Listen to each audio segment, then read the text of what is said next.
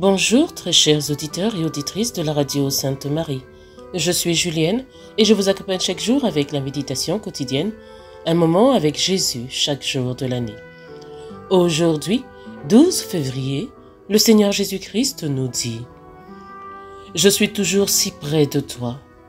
Je regarde par-dessus ton épaule et je lis chacune de tes pensées.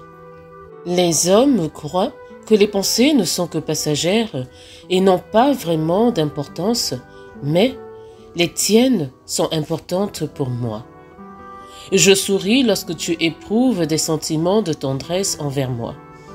Mon esprit, qui habite en toi, t'aide à penser comme moi. Ton être suit le cours de tes pensées. Fais de moi le centre de ton attention. Lorsque tu regardes à moi, en étant pleinement conscient que je suis Dieu avec toi, tu fais l'expérience de ma joie. C'était le plan que j'avais initialement prévu pour l'homme lorsque je l'ai créé.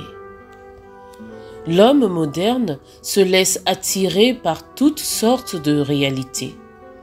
Le sport, les sensations, l'acquisition de nouveaux produits, la publicité tire profit de l'aspiration humaine à des centres d'intérêt positifs.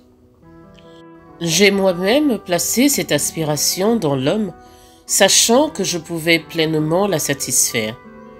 Fais de l'Éternel tes délices, et il te donnera ce que ton cœur désire. Aujourd'hui, les textes proposés à notre méditation sont tirés de l'Évangile de Jésus-Christ selon Saint Matthieu, chapitre 1, verset 23, et du livre des psaumes, chapitre 37, verset 4. Quant à moi, je vous souhaite de passer une agréable journée et vous donne rendez-vous demain sur les ondes de la radio Sainte Marie, la radio de l'espérance chrétienne.